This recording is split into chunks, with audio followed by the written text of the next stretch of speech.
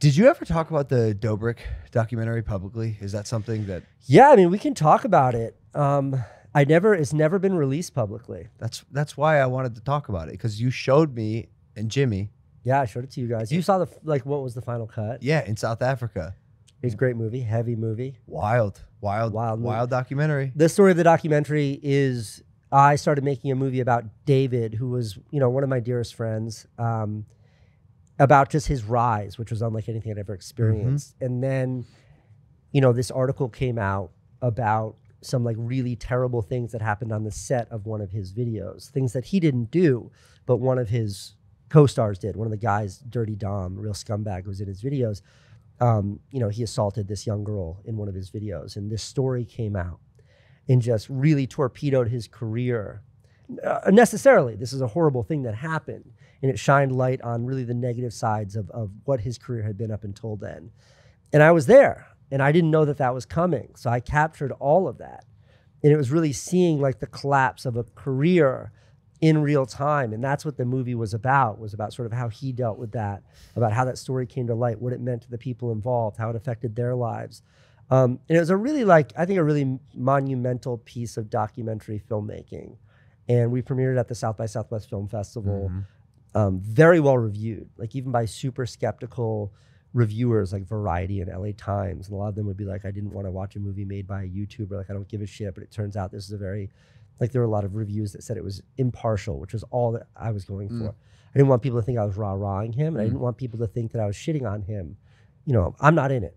You've seen it. You know, I'm mm-hmm. not. It's not about me. Mm-hmm. And it's a movie. It's a piece I'm really proud of. Um, and like we had some really interesting distribution opportunities that kind of like came and went and weren't dealt with well. And then like very recently, and I don't know how to say this without causing a bunch of trouble. Like very very recently we had a very very interested party that was a perfect place to distribute it and it fell apart at the ninth hour because of political reasons i believe because of political reasons that had nothing to do with me or the movie itself but somebody involved with selling it had, was fired from his job at the last minute. It kind of put us in a compromised position.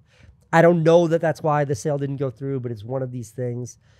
And like i think i used as an excuse these third party factors for why it didn't get distribution for why it's not out there but i think the real reason is like there's some part of me that like doesn't want to release it like i have a youtube channel with I was gonna say, why not 10 just million viewers i can put it out there Do you think the the ball has rolled too no i think it's the hill? probably more relevant now than ever really. um, I don't I don't know. I feel weird about it. You know, I feel weird about it because the impact it had on my relationship with David, which Yeah. I wasn't naive to. Like my goal with that was just to sort of tell the truth and give him an opportunity to tell his truth, which I believe he did. But um, you know, I, I think that there was some expectation that the movie might protect him, and instead, I think the movie was just a very honest view of what happened. And um, you know, like he, you know, he and I haven't really spoken since then, and that was very. That's very. I knew that was going to happen, but I still didn't. I don't deal with that well. There's not many people in this world that I like love, and I really love David Dobrik, and I'm really conflicted about that. So all this just to say that, like, I think my own sort of fucked up emotions about it um, have had a negative impact on my willingness to let that documentary be seen. I, and look, I'm not. It's not like I, am trying to protect him. I think there's a lot of truth in that movie. Um, you know, maybe there's other also some insecurity about it, which is just that like I think it, it is a very powerful movie, and like I like making fun. This is a cop out. I like making fun YouTube videos. I hate fucking dealing with conflict. In my, I'm not afraid of it. I made a video three weeks ago called Jew, J E W, Yeah. about what it means to be a Jew, and like you know the kind of conflict that arises. But like I'm, I'm not afraid of conflict. But in this particular case, it's like it's not about me, and I feel like like I don't know. I've stuck my head into something. Like what I always say, and this is a fucking cop out, and I'm embarrassed to be saying this, but it is the truth. Is like I never signed up to make that movie. I wanted to make a fun movie Yeah. about this kid I love named David Dobrik and his success. And then all this shit came up that was mm. horrifying, horrifying to me. And I felt an obligation to the world to, to tell the truth. And I think this movie did that. And then at the end of that, I too was just like, who am I to be this? Like, why do I have to be the arbiter here? Mm, like the magnifying glass for it. Yeah, does well, it like, uh, does it cover any any of the Jeff stuff, or is it or is a, it a little bit it touches on that but again i don't jeff speaks for jeff in that um, in that part of the narrative. David speaks for David in that part of the narrative.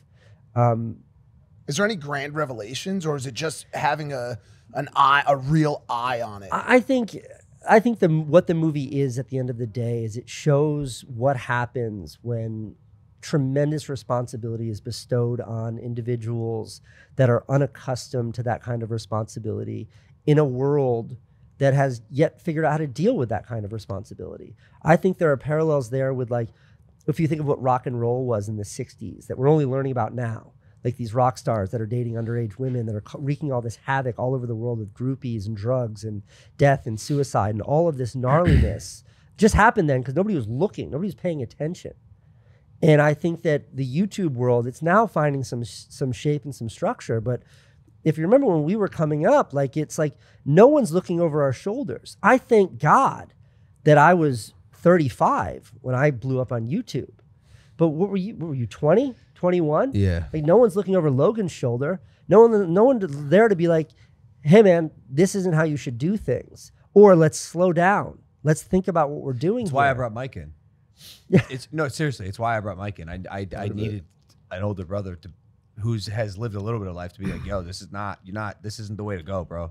You need you need help. You need to pivot immediately. And I, and I think David's a product of that. It's not an excuse for the the things that happened. Ultimately, you are responsible for what happens, mm. and I, this is an apology for him.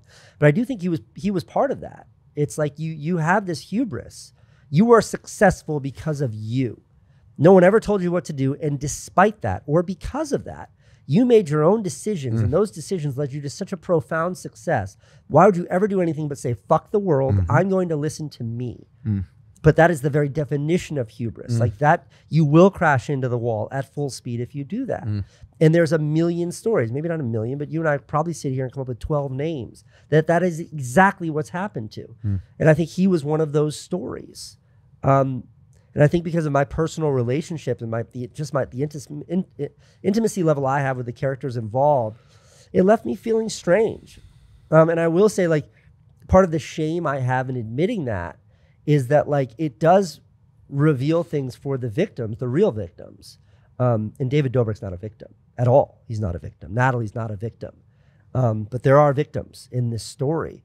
Um, they don't get to have their story told because of my insecurities, because of my cowardice in not wanting to put that video out. And I, I'm hyper conflicted because of that. Hey guys, if you like that clip, hit the subscribe button. And if you want to see more zany clips, click the video right here.